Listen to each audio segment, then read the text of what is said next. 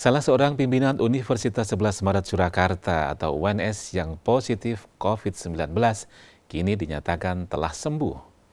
Pengumuman ini disampaikan Rektor UNS Profesor Jamal Wiwoho dan Direktur Rumah Sakit UNS Profesor Hartono dalam jumpa pers secara daring pada Senin pagi.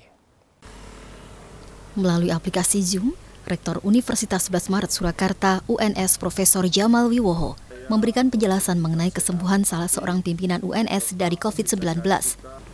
Pimpinan UNS yang dimaksud ialah Profesor Dr. Insinyur Ahmad Yunus MS, Wakil Rektor Bidang Akademik.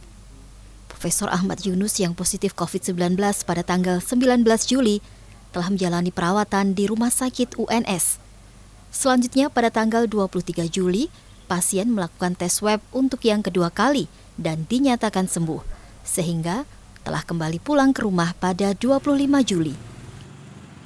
Sabtu yang lalu sudah dinyatakan hasil swabnya itu negatif dan hari Minggu yang bersangkutan sudah diperkenankan untuk pulang dari rumah sakit.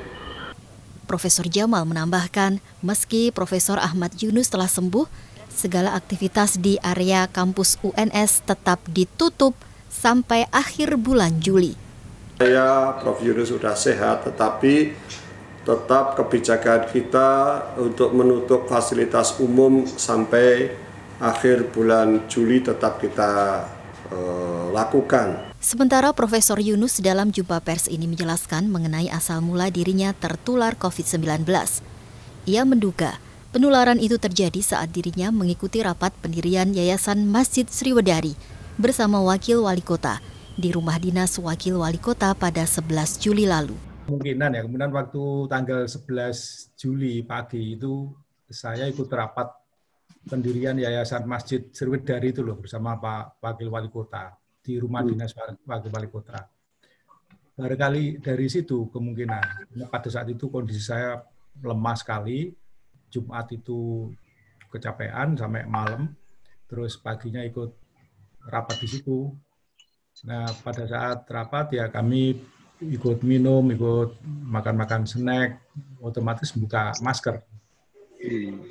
Kemungkinan dari situ, karena yang dari Pak Rektor dan Wakil Rektor waktu bertemu dengan tamu dari Kemenparekraf.